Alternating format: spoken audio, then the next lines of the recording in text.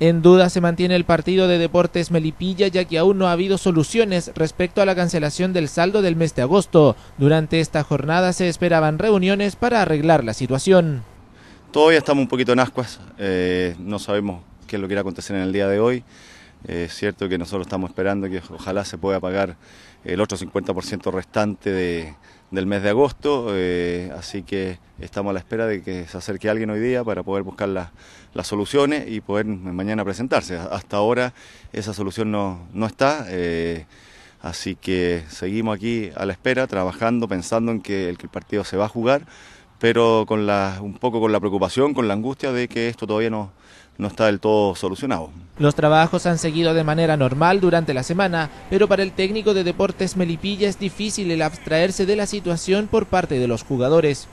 Pero es difícil abstraerse, por mucho que uno converse y que nos podamos meter de lleno en el compromiso, tiene que estar un dejo de preocupación en los muchachos y por eso quiero que ojalá la cosa pueda quedar ya regularizada y normalizada en el día de hoy, cosa que ya en la tarde puedan estar con la tranquilidad absoluta de que las cosas se, llegaron a, buen término y que, y que ya mañana hay que preocuparse únicamente del compromiso porque para nosotros es de vital importancia sacar los tres puntos. Ya no nos sirve ni siquiera empatar, empezamos muy mal eh, este campeonato con una derrota lamentable, abultada, inobjetable y, ahora, bueno, no nos queda más que recuperarnos ese traspié porque si no vamos quedando demasiado distantes de los que ya suman la totalidad de los puntos, eh, sumándole la, bonificación de los tres puntos que tuvo Magallanes y, Trasandino. Así que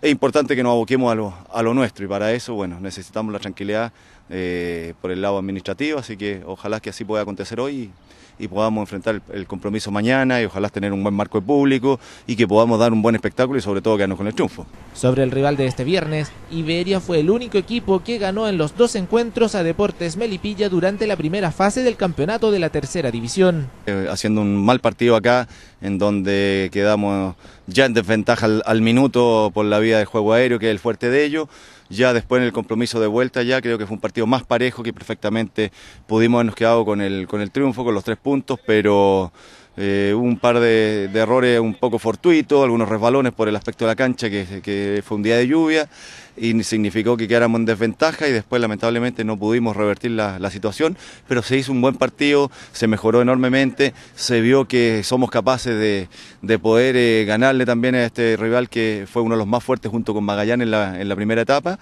así que tenemos que entrar con, con esa idea, con esa mentalidad de que es un rival que está igual accesible y que tenemos que mejorar en un 100% lo que se el partido pasado y también los compromisos que, que tuvimos con ellos. El partido está programado para las 16.30 horas de este viernes y el valor de la entrada en el estadio será de 1.500 pesos.